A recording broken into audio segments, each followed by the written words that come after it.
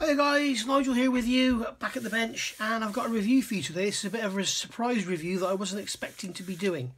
Um, had a box arrive, uh, got soaking wet in the rain because the postman left it by the door, which was really great, didn't even knock. Um, so yeah, the box got soaking wet, but luckily what I've got to show you today is all sealed and wrapped in uh, cellophane, so nothing was damaged. Um, so basically what we've got here is some items from a company called David Union. Now this is still all wrapped up. This is the ergonomic pen sander. This has been sent to me by Ed from Premium Hobbies. Uh, Premium Hobbies here down in Weston-super-Mare. So if you're in the UK or in Europe and you want to order one of these, Premium Hobbies is the place to go. Go and have a look at the website anything you want to get. You've got your Mr. Surfacers and all your Mr. Hobby products and different sanders from Infini. And then you've got all the, um, the, the, premium designs, um, 3D printed sander holders and everything with all the Infini sanders. Now, go and have a look. Don't forget, NMB10, Nigel's Modelling Bench 10, will get you a 10% discount. Now, unfortunately, he doesn't ship to USA, and I, I, I, keep meaning to ask him. I don't think he ships to Canada either. But if you want any of this stuff, this stuff is available worldwide. If you can't find it in a local supplier, have a look on Google. David 400 pen sander, and it comes up with the actual manufacturers, so you can order direct from them in wherever they are. So um, basically, this is what we're going to look at. But first of all, something that came in a little bag on its own here. Um, is this lovely little thing here. Now, if you follow my channel, you know I'm forever using these pin vices. And one of the biggest issues I have with these is the fact that they have selective collets. Now, there is an advantage in, in that with these selective collets, it'll take you all the way up to quite big. So that's I think that's 3.2 um, whereas this one only goes up to like 1.2, 1.3. But the beauty of this is a lot of the drilling you do is sort of in this area here, you sort of 0.5 up to 1 mil. And this will hold all of those. With this, you're forever having to change collets. For instance, if you're drilling portholes out in the Titanic, you might go from a 1 mil to 1.2 with this you can just do it with this you need to change collets so um, this will go actually from 0.1 um, I've just done some drilling with a 0.3 drill and it was lovely. And it'll go all the way up without changing any collets. I'll show you here there's a 1. Point, there's a 1.2 1.2 drill and that will go straight in there like so and then you can drill with that okay and that is gripping it whereas with this one you can see I've got the smallest collet here the 1.2 drill won't go even a 1 mil won't go in there so it's um, it, it's very good. If you're using your 0.5 or 0.6 for a pilot drill, swap the drill, chuck this in. It's also got a very nice, um, very nice um, knurled handle. That's the word I was looking for. So you've got a knurled uh, locking ring there, and you've got a knurled handle here for grip. And then the top here spins so that you can sort of put the pressure on. This is how I use them, put the pressure on there. So if you want to use it to drill, you can basically, you're putting the pressure onto this end with your hand okay? And you're just pushing the drill and you're twisting it with your fingers like so. And it is a really lovely little bit of kit. Really very nice. Nice to have something so small and light because this is quite big and chunky. And you know even the weight of this will snap drills off up to sort of 0.6 whereas this won't so if you are drilling your hand slips you sort of, you know you snap the drills off straight away whereas with this I don't think you would but um yeah lovely little bit of kit so there we go. Only trouble is, with it being such a small diameter, obviously it's not turning as fast as a bigger drill would, as a bigger handle would. But hey, when you're using tiny little drills, what's the problem? And as you know, I tend to use these rather than electric tools. I've got this here. This is actually, I've seen this available on Amazon again on sale. This is the Janor little power drill. It's a brilliant little thing, powered by a um, via micro U or mini USB from your computer and uh, great little thing great little tool comes with a couple of collets and a where is it? it comes with a box here the selection of little tools which are pretty much useless but you get the spare collets in there but these I thoroughly recommend this one um, it's available on Amazon so that's another little uh, tool for you to be looking at but basically what we're looking at today is these David uh, Union products so this is the actual drill this drill is this pin vice, should I say, is nine ninety five from Premium Hobbies. So with your ten percent discount, it's going to be nine pound. So I think that's actually a really good price for what is a quite high precision little product. It is beautifully made. Um, and the collet has got a very fine angle on it so it'll give you some really good clamping pressure. And yeah really really nice that there's a pin vise out there that goes on such a wide range. It says it goes 0.1 to 1 but mine actually will go up to 1 point I think it'll even take a 1.3 drill um, with a little bit of pressure behind it. Yeah I'll take a 1.3 I'll probably go to 1.4 if I push really hard. But yeah 1.3 drill so 0.1 to point to 1.3 that's a pretty good range for such a small little tool. So that's something to be looking into. So that's your uh, pin vise. Um, and now also, we've got this here. This is the David 400 ergonomic pen sander. As you can see, it's still sealed up. I haven't had a look at it at all. I believe it comes with all these different accessories and everything. So you've got a, a large pad there for flat sanding. You've got a small cone there for going into a drilled hole. You've got a circular round diamond burr or cylindrical should I say that's going to go into your um in for doing a you know like down in tubes and stuff. Two separate collets here. We've got a flat rectangular. We've got a little angled one for getting into really tight corners a triangular one for getting into like wing roots and stuff um, a smaller flat sander a triangular one and then this one here for getting into really fine corners. So let's open this up and have a look without stabbing the box and if this is as good as people say it is you'll see me using this a lot. Um, basically because for getting into corners and stuff you know something like this will be absolutely invaluable. So how are we going to open this box? Some people like to see unboxings some people don't.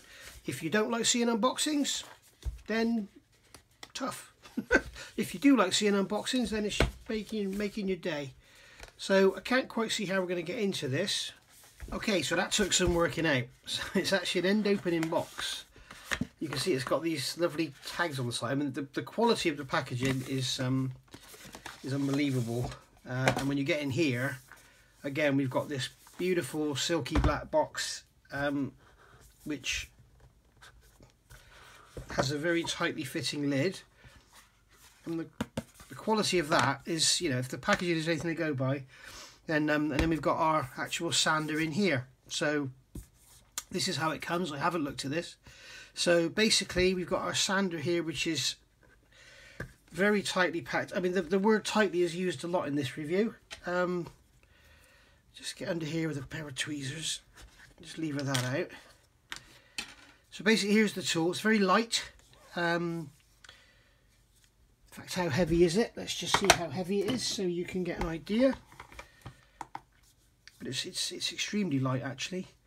Um, there we go. It is 112.7 grams, so very light indeed. And um, obviously, when you put the tools in the end, that's going to add some weight to it. But um, nice ergonomic feel to it. It's got a grippy, the red bit there is grippy. This is all that sort of smooth black pass that you see in a lot of modern Audis and stuff now and VWs on the dashboard you get this, this sort of satin plastic which if you keep handling it starts to go glossy. Got the power input on the back and then we got our on off and variable speed control there. Now obviously the collet doesn't turn because it's just a forward and aft motion. So most sanders are kind of an orbiting motion. This is fore and aft. So um basically we're getting into the box here again tight fitting. So we've got some sanding sheets here and um, I don't know what grit they are, we'll have a look in a minute. So they're all sealed up. And then we've got our power supply here, which is, yeah, this is the normal sort of, you get these days, you get your power supply there, and then you've got a converter there for whatever, whatever country you're in. And I'll bet this does 110 to 240. Yeah, 110 to 240. So same power supply all over the world, which is great if you need spares. Uh, but it is actually a 12 volt point Five, 8 watts. So 0.5 amps 8 watts. So uh, yeah really common power supply there so you could use it with other tools as well. And you've got a normal standard jack on the back. Uh, we've got a box of tools here which is sealed up. And we've got a stand. Well that's nice. It's like a rubbery kind of vinyl plastic. So you've got a stand there so that you're not going to keep putting it down and um, damaging your ends. And then we've got an instruction manual. That box is lovely. You, you could actually, you know, if you're going to give your wife or girlfriend a nice necklace or something, you could use this box to put it in for Christmas. Um, and we've got an instruction manual here, which is probably one of these. Yes, it's the same instruction manual, but in 97 different languages. So normally English is at the front, and yes it is. So say thank you for choosing this uh, electric pen sander, giving you some health and safety there. And then we've got anti-slip grip, linear action, heat outlet, heat outlet, power inlet, 12 volts, 0.5 amps, as I said. Um, black mandrel for changing heads, four jewel design allows four different position. Yeah, so basically, I'll show you that in a second. What that's got on here if I just get this open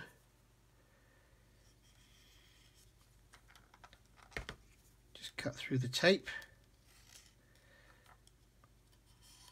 get this open in here what we've got is all our different heads so why can't model manufacturers mold clear plastic like that hmm? What I mean, why when you look at Mach 2, when you look at the windows in that VC10 kit I've got, they're awful. Um, why can't manufacturers do plastic like that?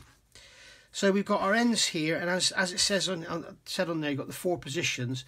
In the end of the collet here, you've got slots. So basically, that's going to go in there, and it won't turn. So basically, you can leave it flat, and you can put some side angle on it if you want to, um, but it won't turn. But you could actually put it in in four different positions.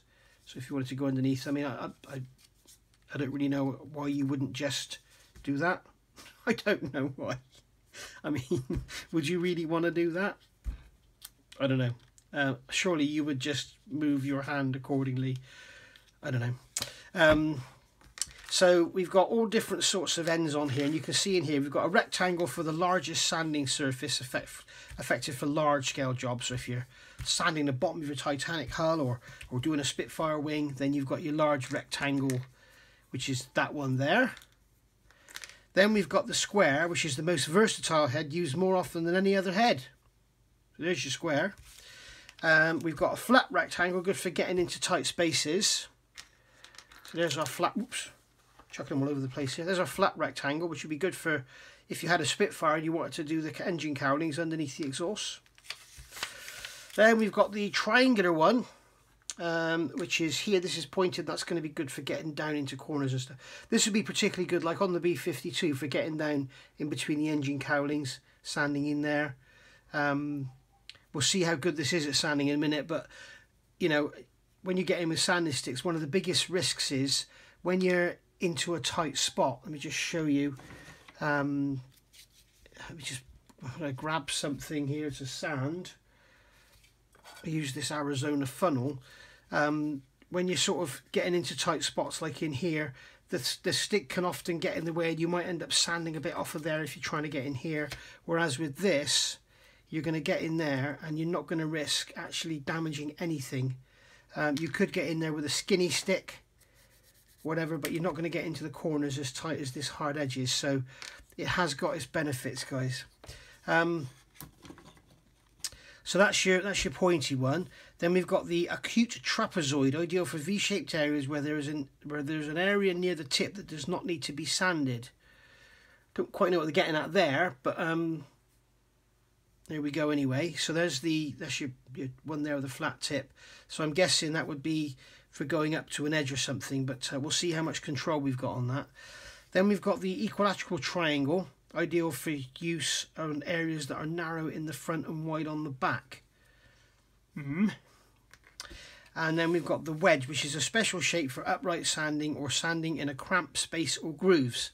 So here what they're saying is you would use this um, like that for upright sanding, but then why wouldn't you just use that? I don't know. What I can see this being really useful for is getting in behind, um, like in, in F4 Phantom intakes and stuff, getting in behind them. Be really good for getting down in behind them and, and sort of sanding and blending in, in there and everything. Or like, um, you know, down into tight spots in your weapons and in your weapons bays and stuff like that. So I think it'd be really good for that.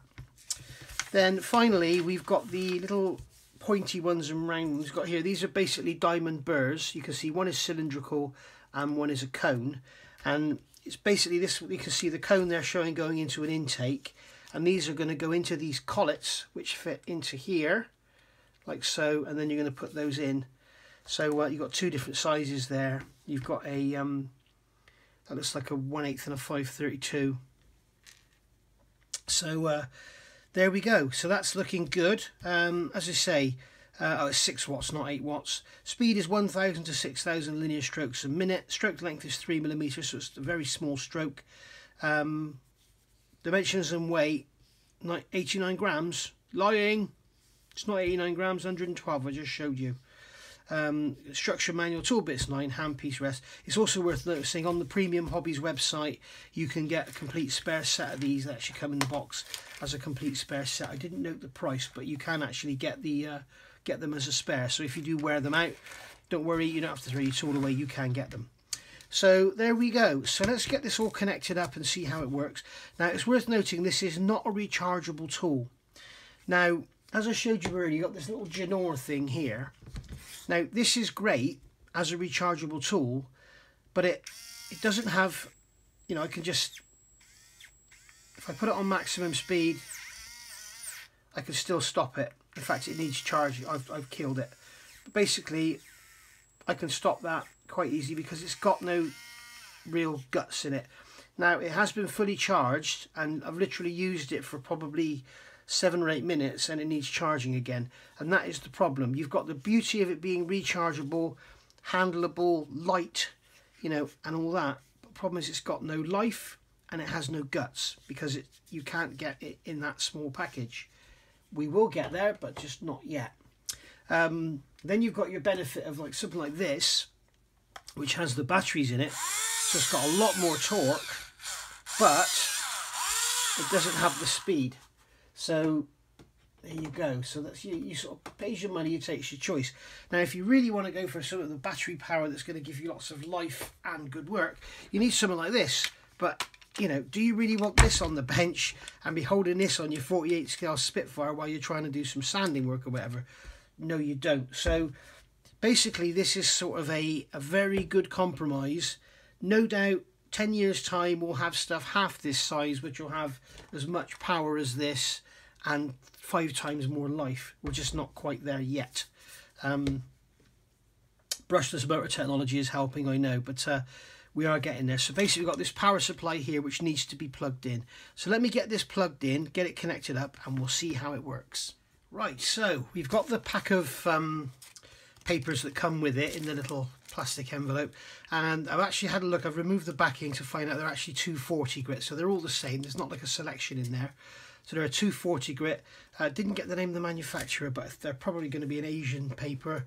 But the other thing I, I like about these, they're they're fully self-adhesive on the back. So if you've got a flat piece of um, acrylic or something like this, you could stick this down, and that'll give you a great flat piece for you know sanding your um your halves or whatever of tanks or whatever you know wing tanks or something like that. So you know, th there's another use for. There's always a use for something if you look a bit deeper, and you can actually buy these in additional sets. This is a 600 grit. This one is a 400 grit. This one is a 240 grit, and as you can see, they open like so. So I believe also in these you get oh they open all the way up. Yeah, in these you get a template as well, which is handy. So you basically put that over your sheet and then you can cut it out and it's got all the different sizes that you need for all your different um, all your different uh, sanding areas. Now that one there I don't have so that's a bit weird. Oh unless it's designed to fold around so actually you do get a fold around on that one so you get really going down into the sharp corners. So there we go so that's what you get with those. As I say you've got a 240 there, which is the same as we've already got. This one's a 600 and this one's a 400. You know, my favourite is 400. Don't be fooled by the 400 on there. That's just the model number of the actual sander itself. So, um, got Jess playing with the toys underneath my feet, if you can hear her. So we got the self-adhesive backing on here. What I've done here, I've, I've cut a piece out 25 mil wide uh, which is the same width as this rectangular one and I'm just going to basically stick this on um, make sure you've got an old knife blade for cutting this out because when you cut through to the abrasive side it will literally destroy your blade. You don't want to be using new blades to do this. So basically there we go. Take that off of there. And then I'm going to carefully stick this onto here. I've cut it slightly too big which was intentional. The other thing you could do, of course, is peel the backing off, lay that on top of there and just cut around it. But this is this is like an ABS material, so you always risk actually damaging your um your sanding pad. So there's that one there, that's going to go in like that. And then I've got this one here, which has been cut out for the triangular one, and we'll do some sanding into corners. We'll try that out as well. And we'll see just how useful this little tool is. Um, I don't think it's a must-have. I've got to be honest. I don't think it's something you you have to own. Uh, but I think it's probably going to be a very handy tool to have, you know, especially for those larger jobs. So right, let's. So we've got the on-off on here. It's all plugged in and wired up, so we can. You can see we can have it running basically as, and it has got quite a lot of strength in it. Um, no. And basically we can we can wind it up like so Jess is unfortunately, she loves power tools. You should hear her when I start the compressor up, she really goes. So basically, you go all the way up like that and then come down to, to basically next to nothing. Now, I think when you're on next to nothing, it's probably going to stop quite easily. So we'll just try to get my old Heinkel 111 wing. So I'll put it up on sort of mid speed, which is going to be around about 3,000 strokes a minute. So you can basically just go over your wind it up a bit.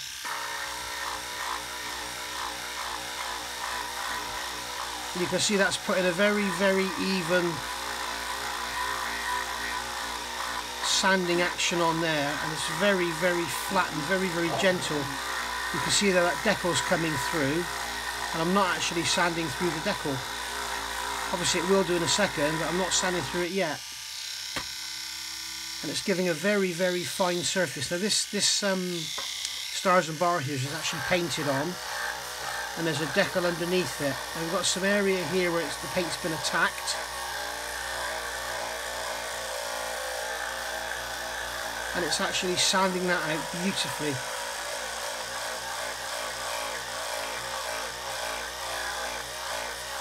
So actually working around in a circle with the linear stroke is kind of giving you an orbiting action. But as you can see, it's very, very gently sanding down. It's not ripping or tearing or anything. You've got under here is a decal.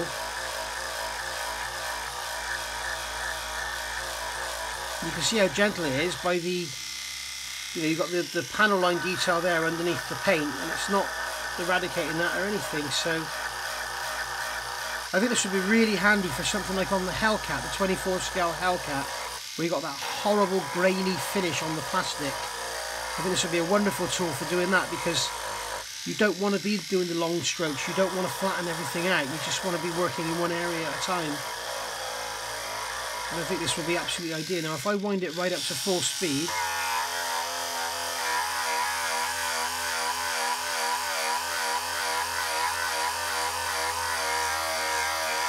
it becomes a lot more aggressive. Now we'll probably find that it's, yeah, it's, the decal's clogging the, the paper and also because it's paint. But it's very, very difficult to show. But the finish on there is beautiful. That's with 240 grit. And it's sort of, that is all been feathered and sanded into one. So we've got a decal under there. We've got the paint on top of here. You can see we've got the brown paint. Um, We've got the primer underneath the decal. So there's you've got the plastic coming through there, you've got the grey paint, then you've got the decal, then you've got the brown paint, then you've got the blue paint and then the white paint. And it's literally all feathered into one. So that's something you won't get with a sanding stick. It tends to sort of lift the edges. But um, very impressed with that. Very impressed with that indeed. So yeah, really pleased with that. Um, I want to try the little uh, triangular one. Finger's all dusty. I want to try the little triangular one um, going into the going into sharp areas. So I've got this here, which I've been using for my glue trials. So I'm going to turn it on. And I want to see what happens if you sort of bump into things. Well, it's quite gentle. It's not actually trying to knock it out of my hands or anything. As you can see, I turn the speed up. You can get into those little areas and remove the paint easily without actually damaging the plastic. As you can see that's getting right into those corners. Let me come up closer to the camera so you can see. You're getting right into those corners. Have to keep it flat.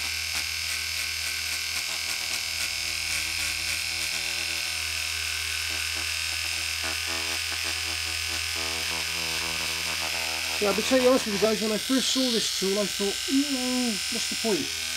But now I'm kind of thinking, for stuff like this, you know, if you've got a really rough finish on here, or you've done some, um, you know, you've done some cast finish and you don't like it, you want to take it back a bit, this would be perfect for it. You get right into the corner there without actually damage at all.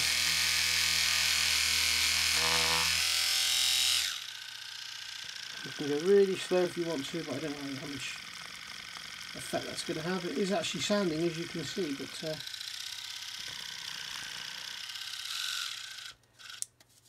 again, it's, it's, we're only using the front point of the um, paper. Now, I'm not sure if this will do the same as a sanding stick. If we wipe it on some denim, yeah, it's all clogged up. I've gone too fast and what I've done is melted the paint and it's clogged the paper. So that is the problem with going too fast. You can see the rest of the paper there is absolutely fine. But because it's a it's a Tamiya paint, it's just clogged it all up. And you can hear Jess down here crying, she wants to play. Okay, so just editing this in here, um, this is the Arizona I'm working on, the 200 scale one. And you can see I've put some brown Mr. Surfacer in here to fill in these ejector pin marks. And I thought this would be a good example just to show how handy this little tool is for getting in little places like this. You can see we've got those little support ribs surrounding the ejector pin marks. So what I'm going to do is just put some black pen around here, just so we can see where we're actually sanding. Make sure we're not sort of ploughing in at all. So we'll get the sander now. You can see the other thing I've done here, I've cut a triangle from the self-adhesive material. And what I've done, I've cut it too long so that as the nose wears out, I can move it forward and trim the side. So um, I did actually put a piece of backing on there, but it's come off. But um, anyway, let's see how this goes. So I won't go too mad at first. I'll sort of set it about half speed. And then we can get into that gap and just sand That seems it looks like I haven't tightened the uh, collar up. Oh, yeah, I have. Um, okay, so a bit faster. And you can see it's enabling us to get in there and sand that out beautifully. There we go, that's that one done. That one here is slightly wider so we can move up the paper a bit.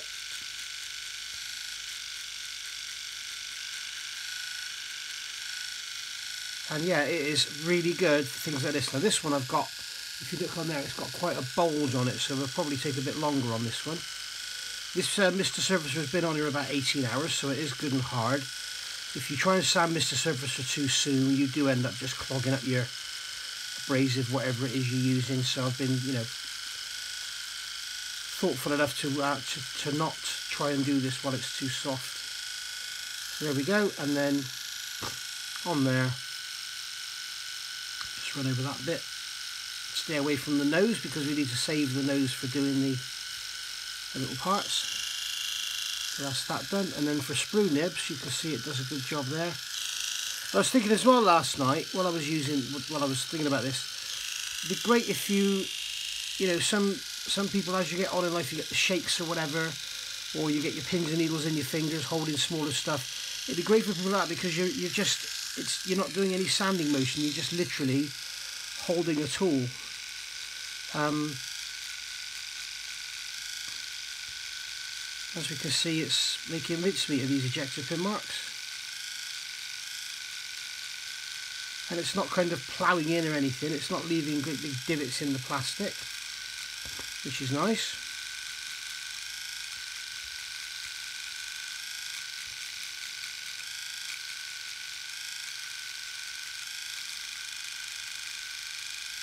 I'm going to turn the speed up a bit and see what happens.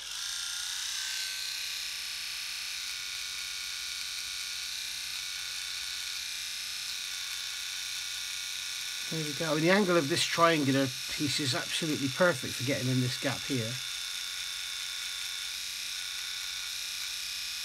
And then on that one there we can just stay flat and just sand it around.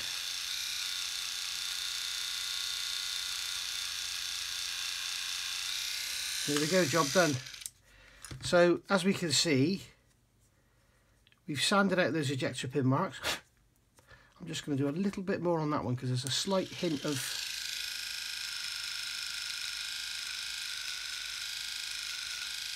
go around the edge. You can remove those sprue nibs.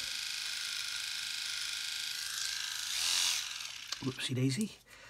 And the other thing I need to do on this part is remove this splinter shield around here because um, it's going to be replaced with a piece of photo etch. So we'll see how that goes. We just take this off like this. Careful not to go too much at a time because you will shatter the plastic on a curve.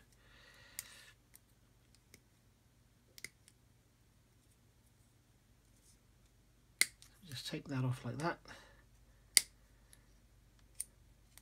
Take that off.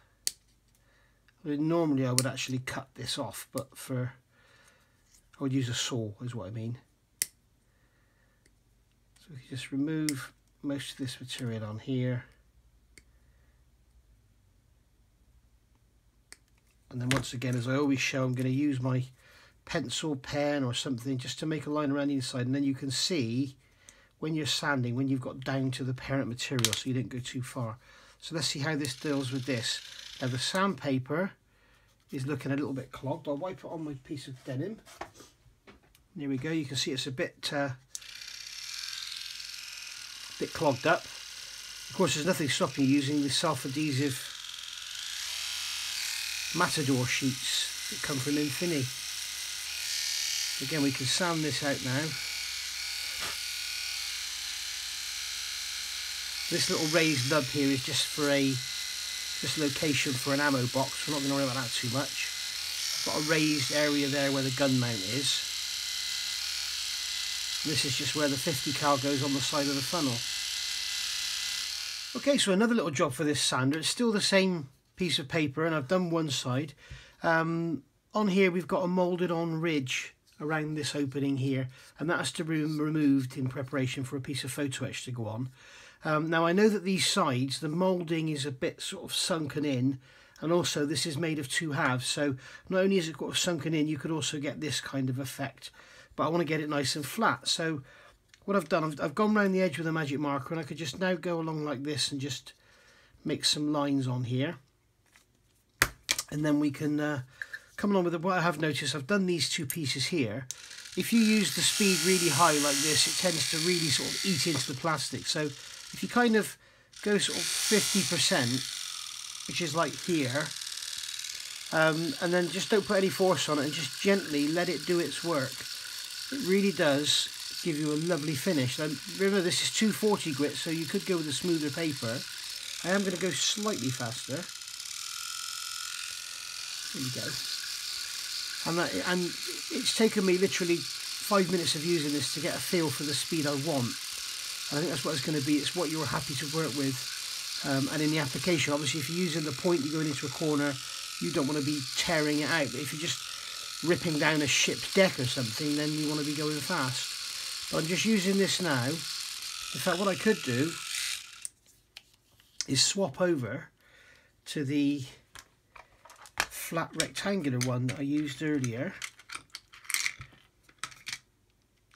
You know this is the same piece of paper that we used earlier so it's you know it's a little bit worn it's a little bit clogged So again, you can see what's happening is the it's taking down that edge.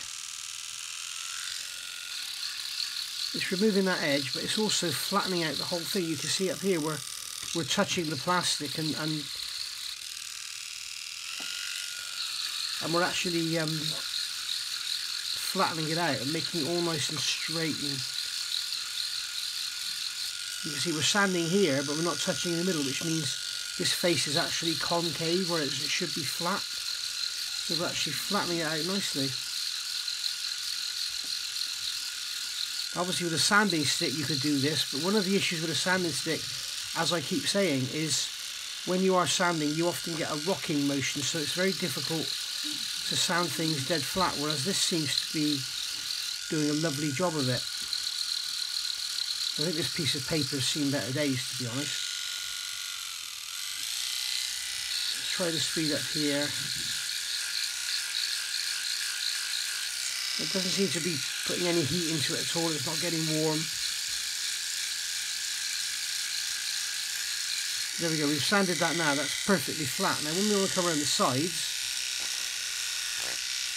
come along like this. Again, do the same thing around the radius. I'm going in a circular motion so I don't put any flat spots on it as I go around. As I say, I think this paper has seen better days.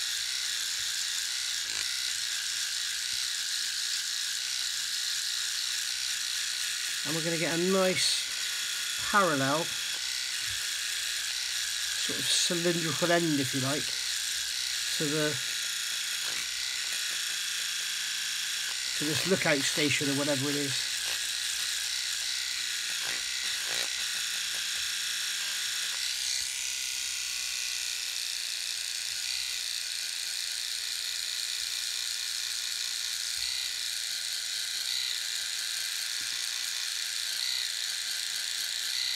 There we go, all the pen mark is gone.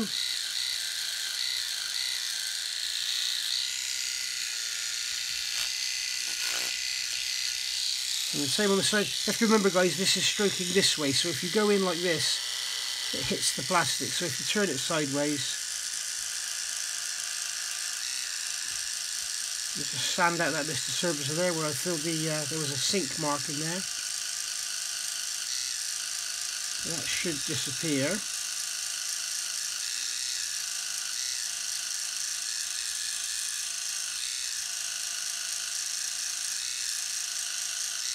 I must say the impressive thing about this is the way it's getting it so flat because it's not actually rocking, it's just a flat motion.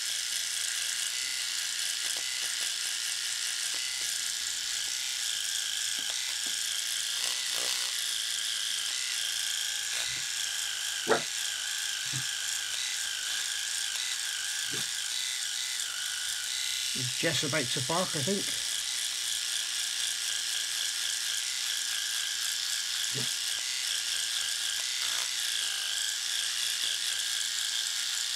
There we go, just keep rolling it around the edge. Then you can slow it down, just do a little finishing touch on there.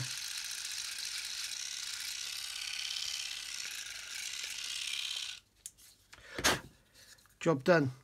And as you can see, what we've got now is a nice flat, sort of square um, face to this. You can see it sanded out that Mr. Surfacer on the ends beautifully as well. And uh, yeah, so now we've got this nice flat face. One of the things when you're using a sanding stick, it's it's great, but the, one of the troubles is you tend to kind of exaggerate it. You can tend to do this, so it's very difficult. To, if you want to get flat with a sanding stick, the best thing to do is go in one direction like so. Um, and then when you're sanding something like this, you would kind of on the ends go like this, but it's very difficult to get flat spots. So then you come along with a sponge, but then of course you round off the edges. Whereas this is giving you that lovely flat square with sharp corners. Um, and yeah, it's uh, very nice indeed. You can see when we put that up against there, it looks really lovely. So yeah, another little um, demonstration of an area it can be used. It's um, effective good little tool. If you have a use for it, then um, I think it's going to be a really, really handy tool to add to your arsenal. Uh, as I say, you know, getting in corners like that, I tend to get skinny sticks, cut the ends on an angle and then I can get in like this. But the trouble is you can never really get into the corner and this will this will get into the corner.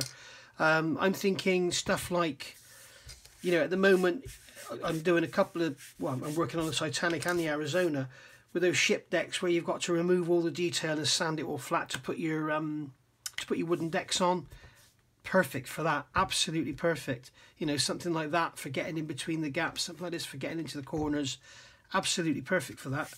Uh, and then afterwards, if you want to paint your deck with a gloss paint to get sort better adhesion with your um, with your sticky back decks, then you know, be great for polishing them as well.